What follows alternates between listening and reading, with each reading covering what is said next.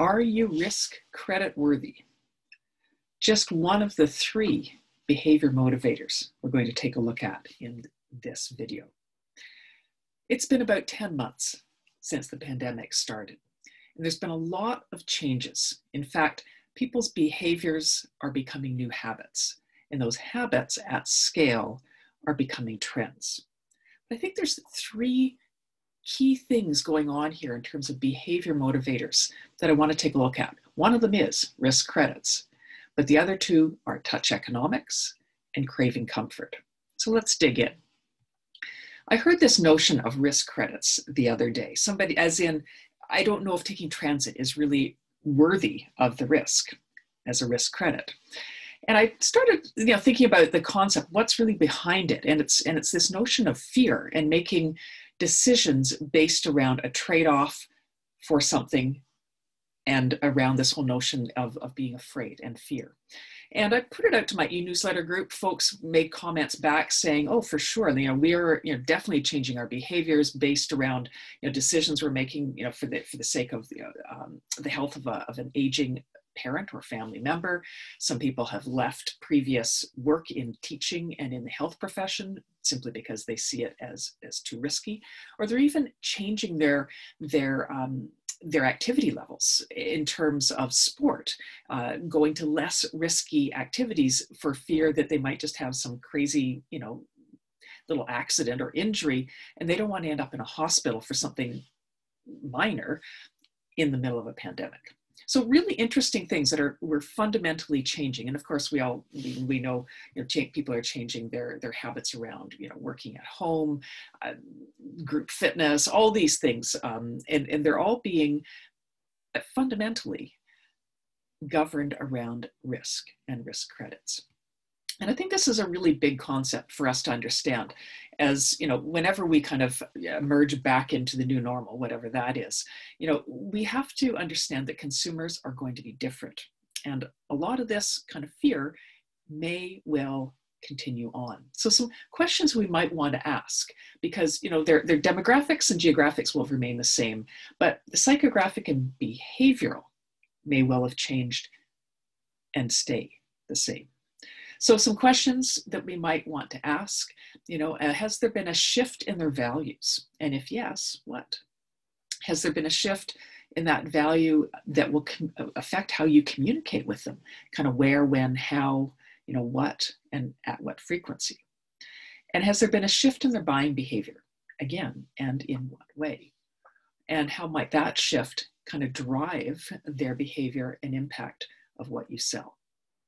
Again, around frequency, around what you sell, when, where, and why. So, you know, there's some opportunity and insight in this. I think the whole, you know, taking a look at understanding the entire customer journey. And it's a good place to start, reframing it from every interaction uh, possible from the position of fear.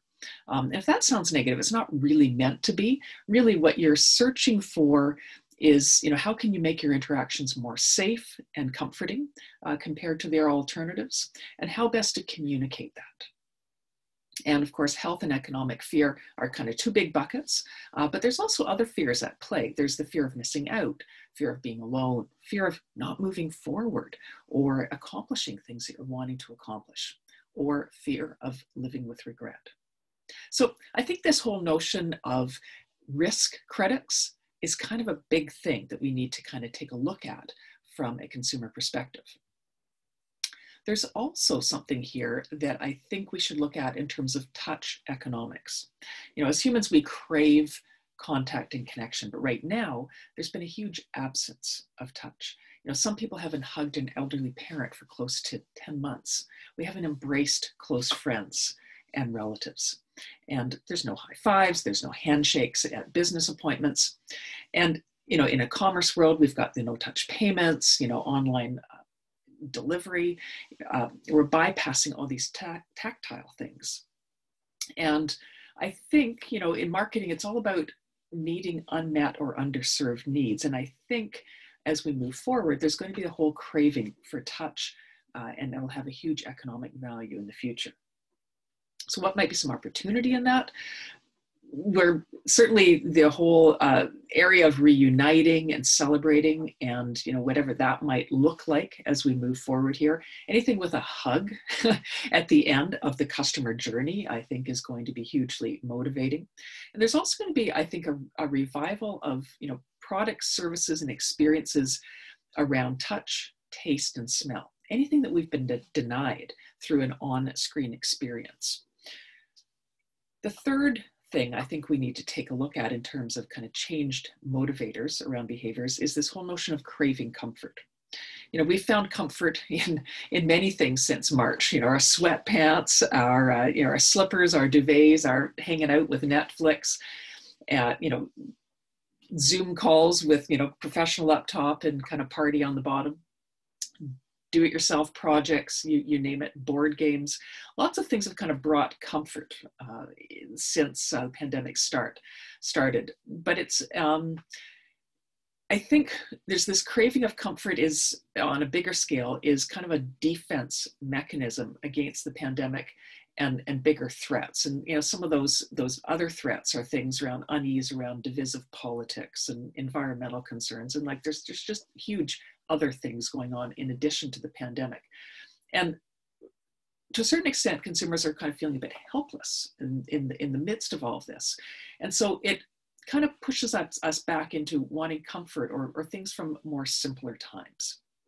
And um, kind of anything that, that conjures up those memories can be seen as kind of part of that whole comfort marketing. So opportunity in that might be things around nostalgia, you know, things that's likely to emerge as, as, as, a, as a concept here is nostalgia marketing. Uh, simplicity, security, sense of normalcy in some way will have appeal. It could be nostalgia items, anything, you know, like rotary dial phones, turntables, LPs, you know, flip phones, um, film cameras, board games, you know, all those things are things that kind of conjure up this whole kind of nostalgia.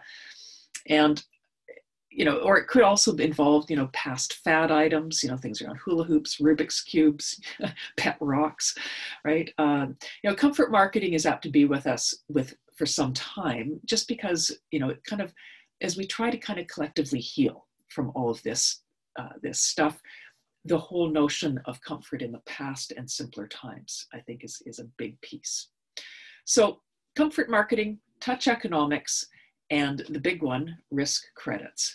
Those are some key behavior motivators that I think we need to be aware of right now. Thanks for being here. Mary Charleson, 5 Minute Marketing. We'll see you next time.